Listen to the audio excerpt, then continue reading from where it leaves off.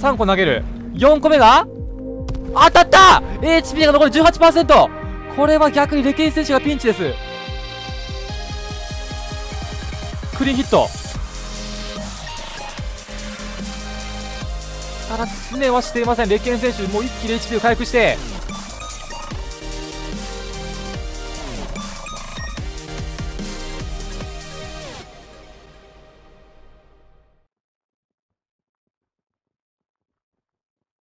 ねえどうした？なんか俺変なことした？あっくんさん。あっくんさん。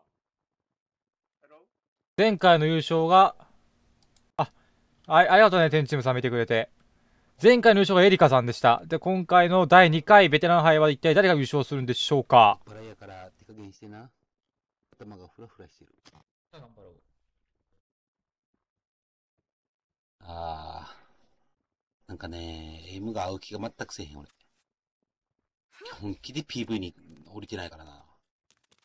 今回は PV に降りてなくてさ、デイリー1ってすごくね、俺。頑張ったね。ねマジで頑張ったと思うわ、俺。何の話だ？いや、平和でいくの？どうも。頑張ったやろ、俺。頑張ったら、頑張ったと思うジャンプしろ。さらば、さあ開始しましたただ先ほどとは打って変わってかなり南側に分布してますね。これは結構南側この Q ラインのあたりに人が行くかな。それともバレーに集合するんでしょうか。あとランチでも結構人が集まりそうだね。ランチと6人7人ぐらい来そう。ランチととバレーが激戦区になる予感ですね。教会の方に降りている倉庫に降りていないが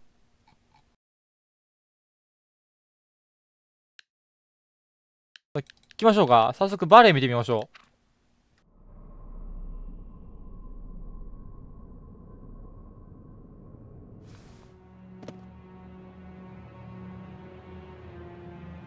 う。バレーが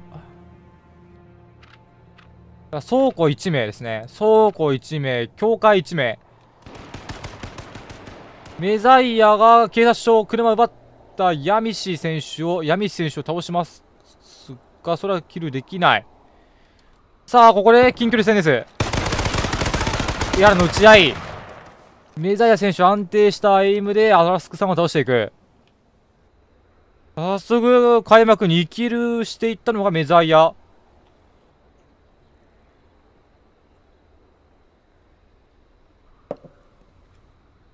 かなりいいペースですね。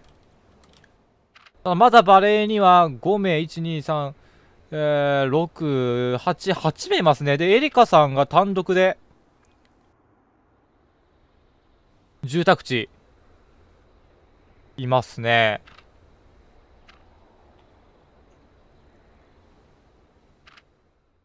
まあ、ここはね、住宅地、ゆっくりと探索できるんじゃないでしょうか。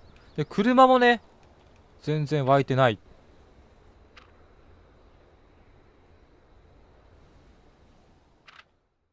で、今回、初参加の猫猫マン。まあ、彼はね、なかなかどのエイムで、どのね、FPS ゲームのうまいエイムを持ってるんで、かなり期待できるプレイヤーですね。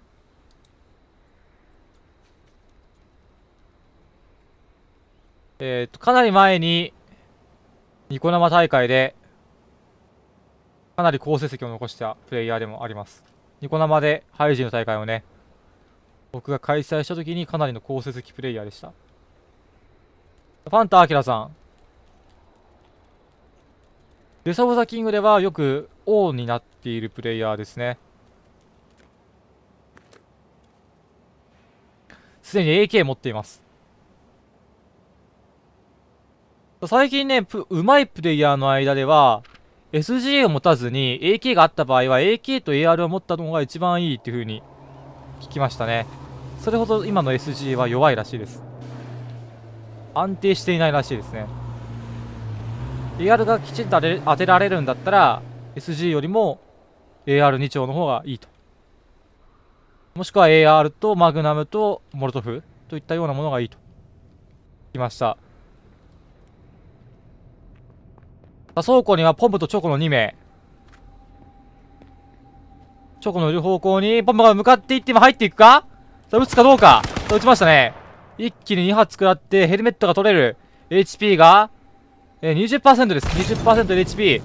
一気に詰めていきたい。これはチョコ決めておきたいですよ。倉庫の裏側に隠れているポンも見つけられるかどうか。さあ、探しています。これは逃げたなという判断で、他の場所に行きましたね。これはポム選手は命拾い。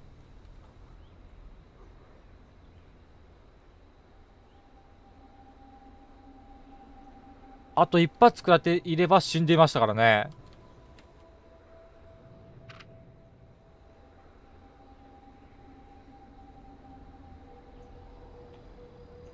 こちらでは侍コナン選手と青空選手がカーチェイスです。あ、ちょっと待って。あ、先ほどの倉庫で打ち合っていたチョコとポムタソのサイドの戦いが始まって、チョコ勝利ですね。こちらでは、これ移動しないぞ。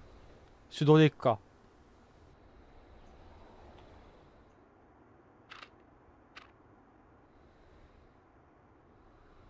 サムライコナンとアクシスの青空選手。カーチェイスです。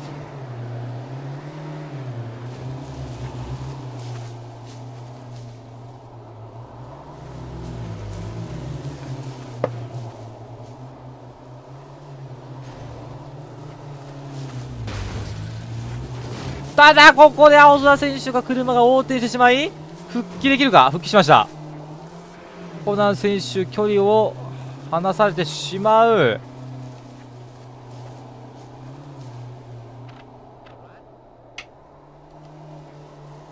かなり長い時間のカーチェイスですね。500メートル先にはテンポ選手がいます。巻き添えにしていきたいですね。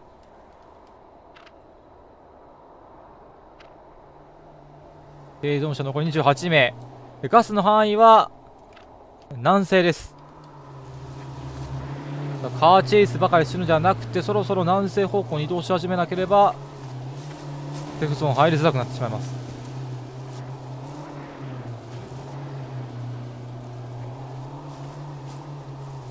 アテンポ選手が、北西にいますが、これは気づかずに、完全にコーナー選手にターゲットを絞っていますね。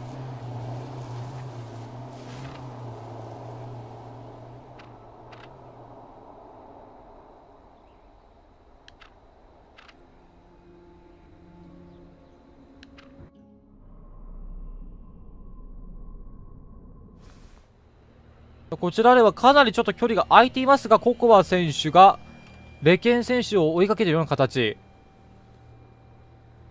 そして猫猫マンがマグキンを切る。26人です。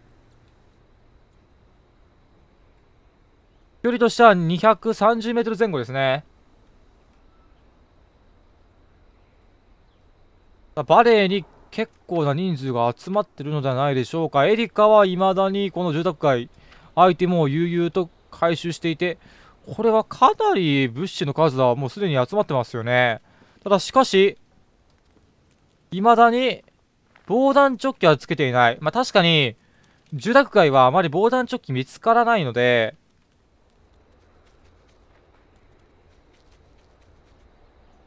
弾数かなりあってもちょっと厳しいかもしれませんね。猫猫マンは車ゲットしています。打ち合いが、これ闇石選手ですね。闇石選手との打ち合い。違う。チョコとの打ち合いですね。遠距離の。さあ、これ闇石が横入り。猫猫マンに影響打っていく当たらない。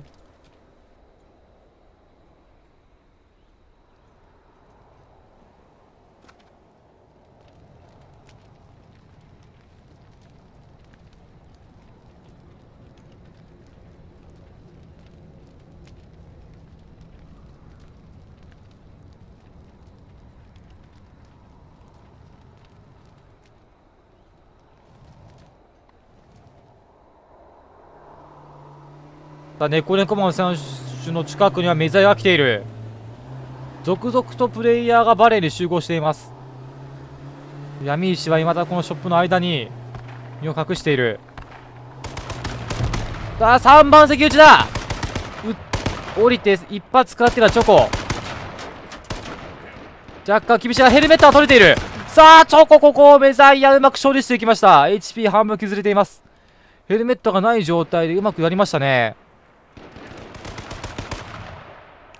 そしてこちら側では猫猫マンがココアを切る。さあバレーはかなり人数集まっていましたが一気に減りました。2キル目もこれは行くんでしょうかね。SG 一発入れたんですが当たっていない。ノーダメージです。猫猫マン選手ここでダブルキル。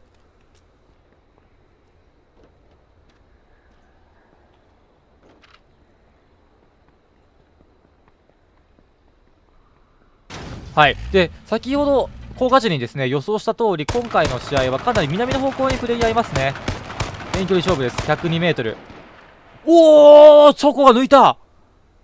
この距離一気にチョコ抜きました。ヘルメット取れていないので胴体判定が一気に入ったんですがこれはうまいですね。出血しています。残り21名。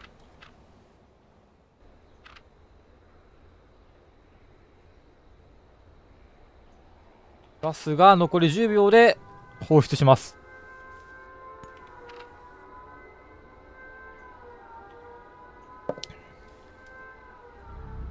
やはりベテラン杯は血の気の多いプレイヤーが多いですね。この段階ですでに21人です。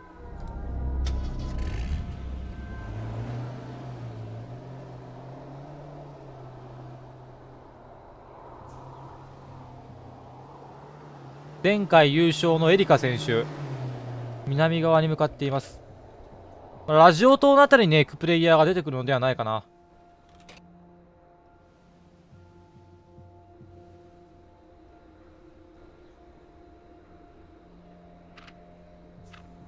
もちろんほとんどのプレイヤーは車持ってますね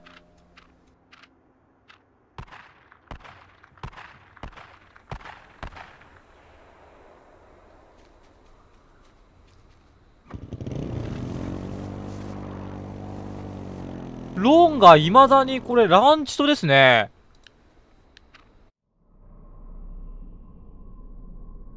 ロンが未だにランチとにいます。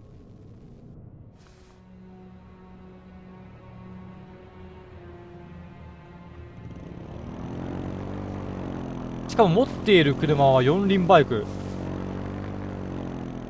これは厳しいんじゃないか。ガスもう来ていますからね。車見つけておきたいです。が、ないのか？今回ランチと車脇ないんですか？あ、ないですね。ランチとに。あ、湧いてないですね、ランチと。うわ、これは、非常に悲しい展開です。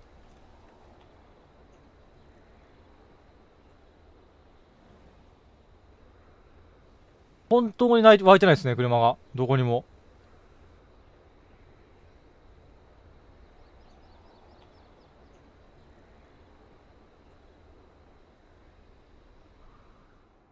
サロンがここでガスに飲まれてしまう。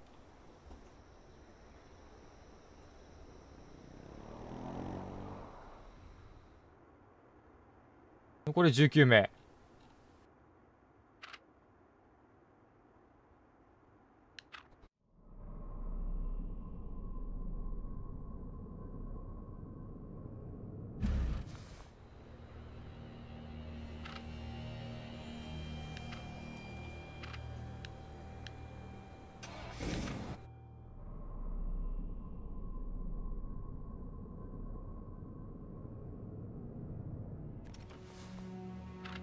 こちらでは AK 村。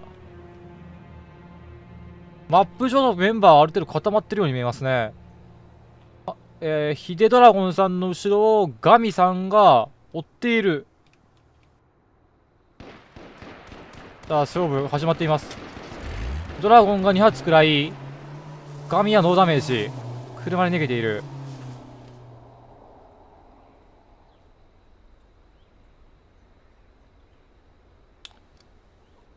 レレンジを離して出血を止めます。対してガミはこれ以上攻める気はなさそうですね。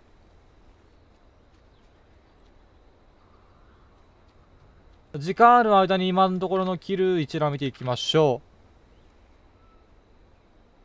えー、死亡者はテンチンはアラスクローリゾーゾーイニケニケベルタレゾーココ。あちょっと待って戦闘始まってますね。アサシンがガミを撃っている形。おー遠距離決めていきました。アサシンがガミを切る。そしてこの銃声を聞きつけてドラゴンが戻ってきました。アサシン今 HP 半分なのでこれ詰めれたらちょっと大きい展開待ってそうです。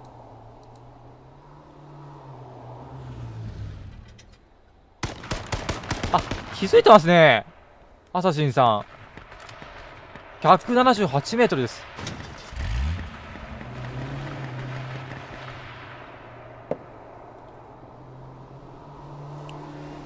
アサシンさんは HP が完全に回復しきりましてただ後ろにパネンポンさんがいるので漁夫のりおーっと！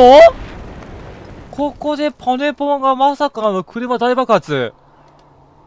アクシデントに見舞われて脱落していきました。ちょっとよくわからなかったんですけども。AK 撃たれてダメージ入っていない。ただこれレケンさんからも狙われてますね。ドラゴンとレケン2人から狙われてしまっている状態。ちょっとこれは一旦引くべきかと。森の中に入っていく。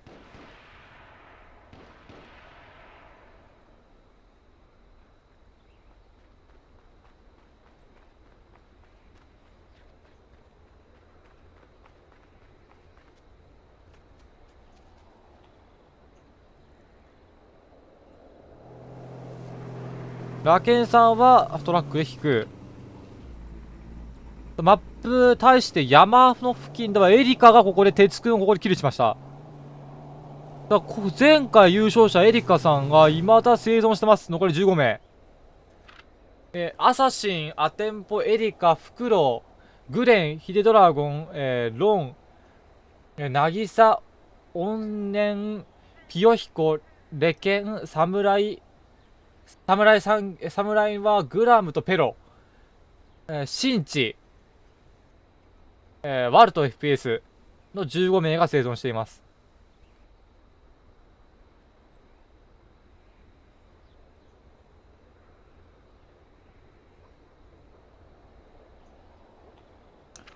戦闘が起こりそうなのはやっぱりマップ南側アサシンさんとヒデドラゴンさん結構近いんですよね。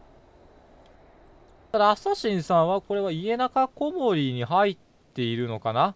そうみたいですね。家中小森いや単純に探索か。単純に探索中ですね。侍そうですね。宣言通りまだ生き残っている。全員強いですよ。って言いましたからね。終盤まで生き残るかもしれません。マップのエリカさんがいる付近。すれ違いが起こっていたようですが。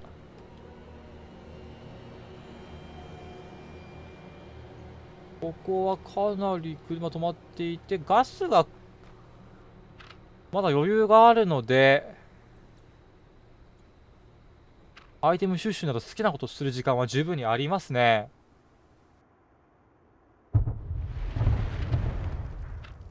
ラジオタワーには誰も集まっていません。山上にはサムライペロ選手。こちら、えー、山頂の林の部分ですね。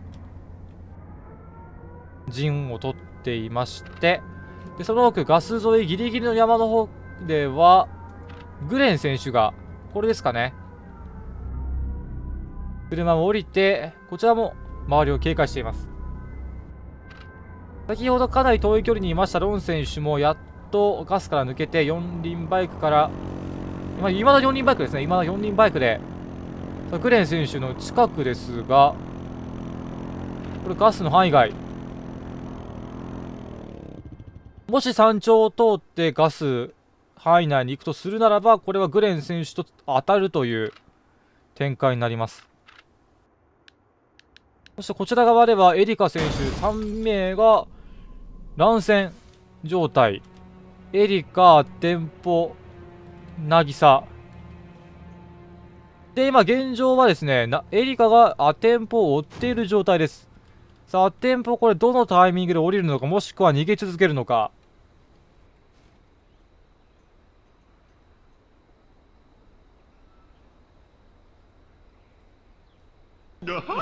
距離が離されている。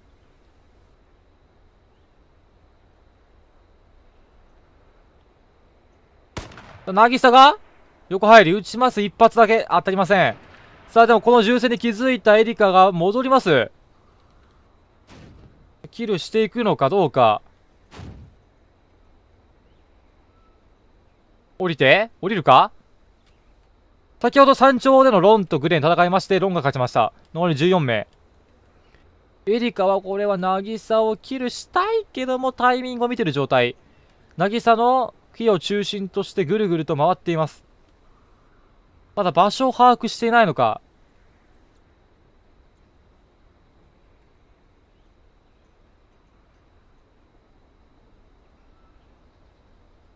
渚も打つに打てませんね。エリカ選手前回優勝してるという事実はありますから、ちょっとビビってるのかもしれないですね。ビビりはあると思います。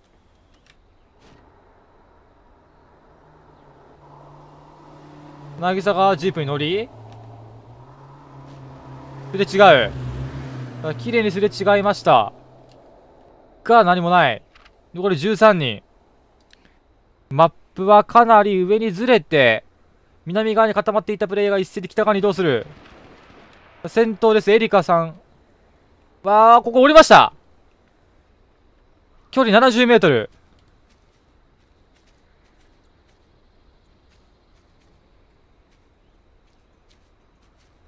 グレネードを投げてはいないのか。さあ、グレネードのレンジではあるんですが、投げてませんね。投げました。ちゃんと見てみて、サイドにずれましたね。今のエリカ選手よく見ていました。エリカはグレネードを投げるんでしょうか投げましたね。いい位置 !HP がおーっと立て続け2発グレネードがクリーンヒット綺麗にキルしてきました。一発目のグレード綺麗に当たりましたね。さあ、このタイミングを見て玉乗りしようとアテンポがやってくる。さあ、これまた戦闘起きるんでしょうか。さあ、ここで車が衝突して、緊急時の打ち合い、AK と AR。エリカ選手、さらにワンキル。さすがの初代ベテラン王の王者に輝いただけではありますね。あっさりと2キルを稼いできました。残り10名です。アサシン、エリカ、フクロウ、ロン、オンネン、ピヨヒコ、レケン、ペロ、シンチ、ワルトの10名です。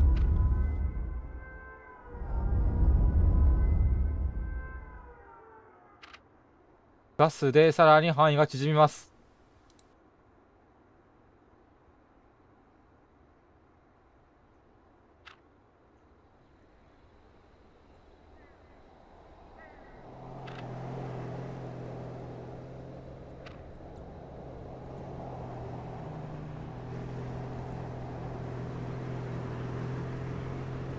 現在ピヨヒコさんの後ろをついています。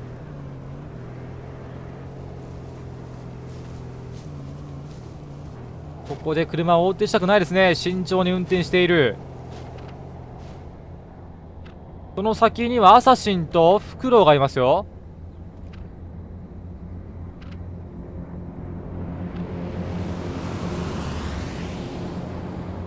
さあこれはピヨヒコアサシンに気づけるか。アサシン、これはピヨヒコ気づいてますね。そのピヨヒコのトラックに気づいていますが、これはピヨヒコが気づいているかどうか気づいていなさそうな立ち回り。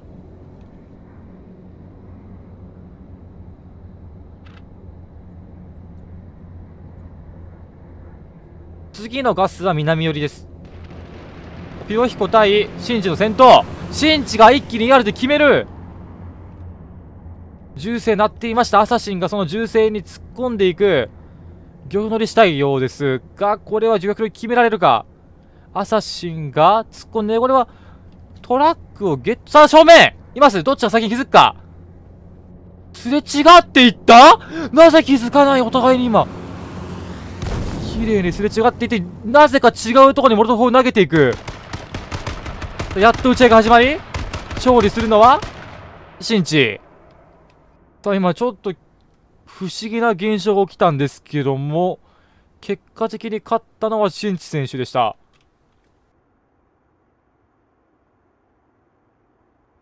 ちょっと今のはなかなか見れないといった紙視点だからこそわかるこのちょっと滑稽な状態でしたね。ロンが今エリカをね北側でキルしたようです。残っているプレイヤーは7名です。クロ、ロン、オンネン、ラレケン、ペロ、シンチ、ワルト。前回王者は9位という結果ですね。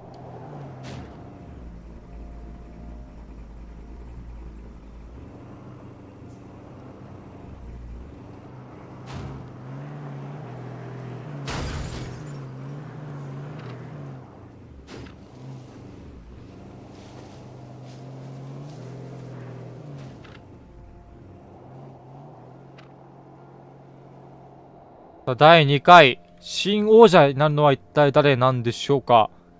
エリカのベルトが渡るプレイヤーは一体誰になるのか？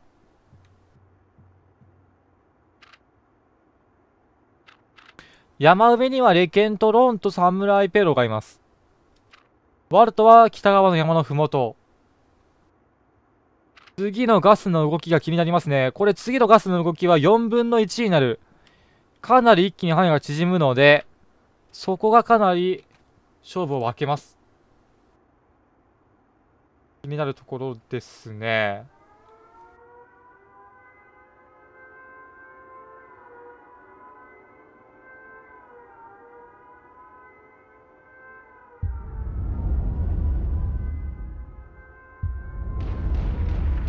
さあロン対これちょっと待ってこっちの方視点に入っていないんですけどこれどこを撃ってたんでしょうか？謎の銃声が響いてそれを聞いているプレイヤーもいないというなんとも孤独な結果になっています。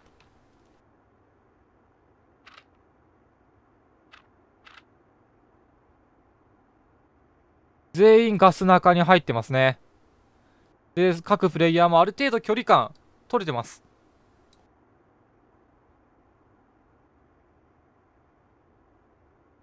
怨念さんが若干孤立しているかマップの南側で1人孤立しています。ほとんどのプレイヤーはマップ中央付近にいますね。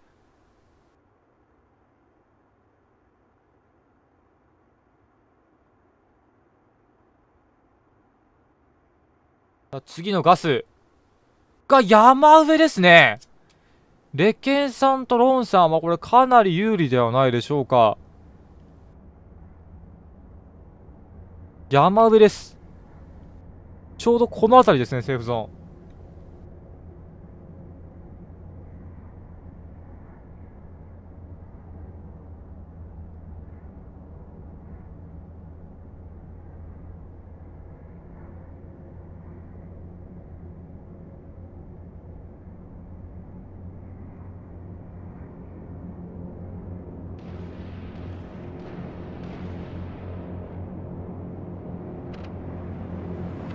サムライペロとシンチ。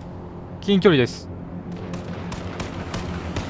打ち合いが始まっているペロが 1B 瀕死ですが削り切られてしまいます。シンチがここでペロを切る。侍が全員脱落してしまいました。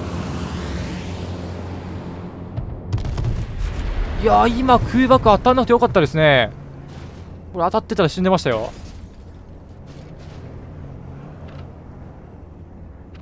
ただいま電波塔を取ってんのがレケン選手です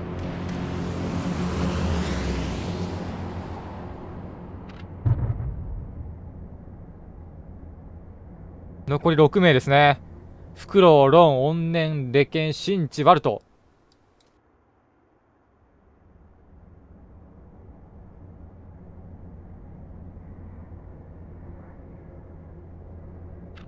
さあ、シンチ選手注目して見ていきましょうか。山登りをしようとしているんでしょうね。いや、でもこれは道沿いに行くと加工していきますが、さあ、無理やり登る。無理やり登れない。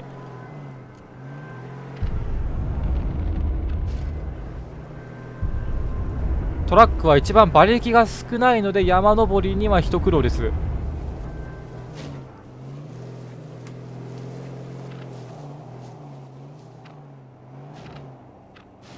ただまあセーフゾーンには入ってますね。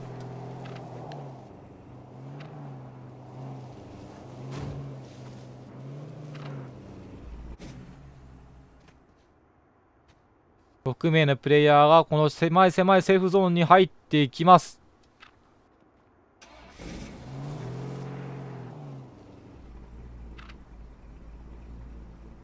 そうですね。今全員入りました。怨念さんも今入りましたね。残り6名。今回の最終戦は山上そして山付近となりそうです。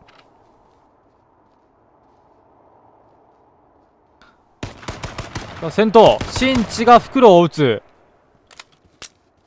牽制程度ですね。当たりはしないでしょうこの距離。そしてこれはセーフゾーンが南西です。入ってるのは新地のみ。でこれはワルトは山を越えなければいけないという少々難しい位置取りとなってしまいました。ワルトはここ山登りを強いられます。向こう岸に行かなければいけない。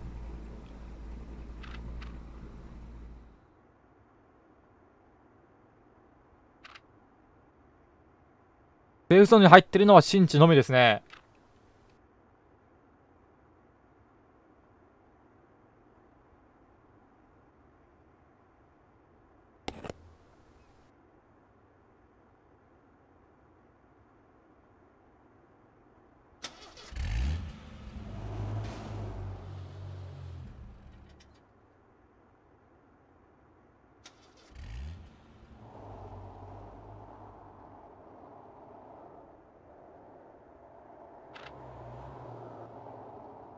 一斉に向かってます、セーフゾーン。レケン選手、バルト選手、ロン選手。向かっています。フクロ選手、動きがなく、裏側から怨念が来ていますね。フクロ選手が後ろを向いている方向から怨念が来ています。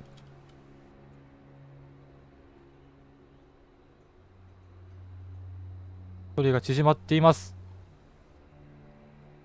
続きますかね完全に背中なんですけども。正面に走る。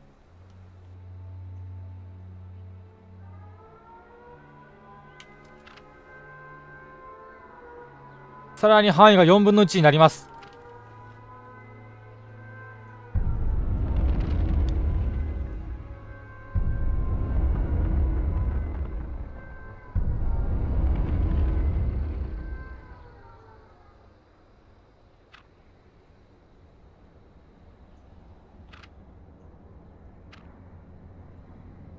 新地が正面にいます。140メートル。これお互いに視界に入る距離ですよ。そして山上にはローン。車をもう捨てましたね。まあ、投げ捨てました、車を。山上に陣取るんでしょうか。そしてワルと FPS がそのロンの視点、視界が見える範囲から、G、えー、すみません、ジープじゃない、トラックですね。トラックで登ってきている。さあ、音聞こえるでしょうね。この距離になってくると。ローンがこのトラックして、降りましたしっかり。今バルト降りましたね。車の音で気づかれないようにあらかじめ降りていきました。次のセーフゾーンは完全に山上ワルトのいる位置。ワルトとロンのいる位置ですね。そしてこちら側では3人がかなり近い距離にいます。山上ではワルトとロンの戦闘そして山下ではフクロウ新地温泉3人の戦闘です。だこんな感じで見ていきましょうか。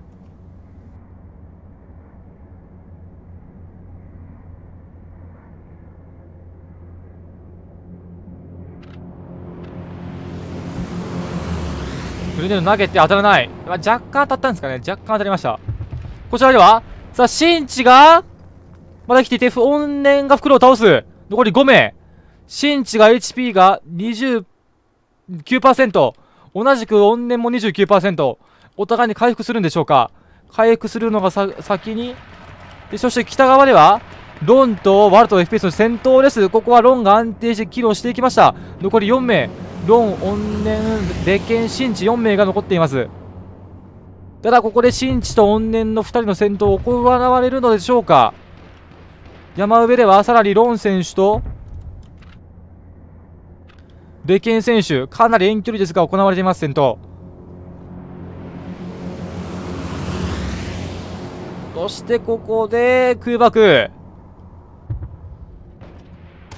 なんとレケン選手 SR 持ってます SR を狙っていく。当たるかどうか。シンチが、後ろから詰めている。後ろを取るロンの後ろを取っているか。なんかこれま、完全にロンはケツ向けています。ロンがケツを向けている。ただシンチそれに気づかない。山上かなり近い距離にいるんですが、お互いにそれに気づいていません。怨念も HP が全回復した状態に登ってきて、さあそれを撃っている。ただ HP が削られていない。降りました。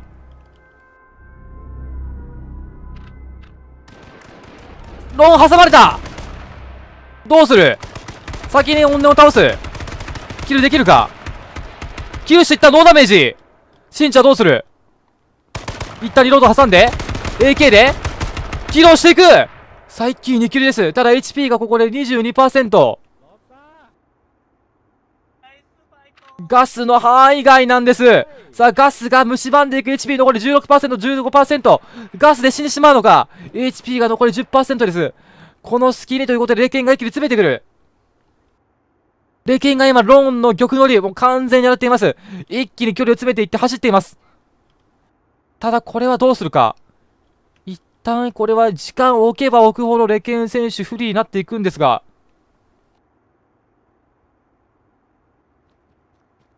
SR を持っている分、このレンジきついか？最後のセーフゾーンはロン寄りだ次のセーフゾーンまで待機してもいいかもしれませんね。SR を構えています。頭出せません、この状況。胴体でも死んでしまいます、この HP の量だと。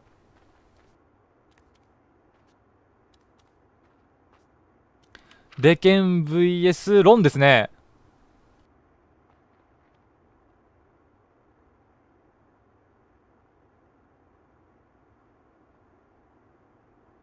ここでロンの HP がフルになって、さあ、餌を構えて当たらない !AK に変えます。AR ですね、AR です。ロンが一気に詰めてきて、勝負を決めようとしている近距離です。グレネードが飛んで、当たらない。距離は70、70メートルですね。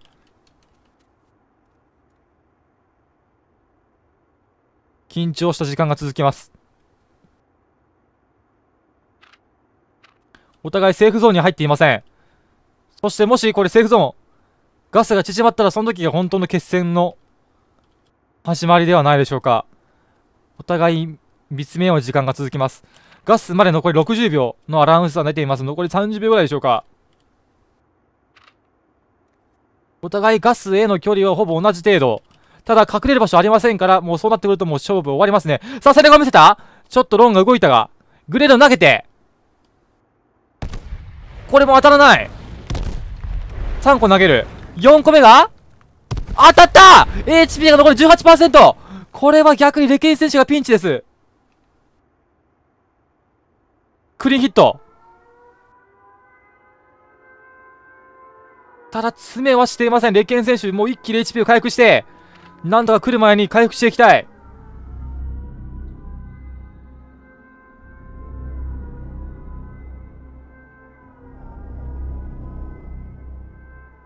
さあ、グレネード構えてます。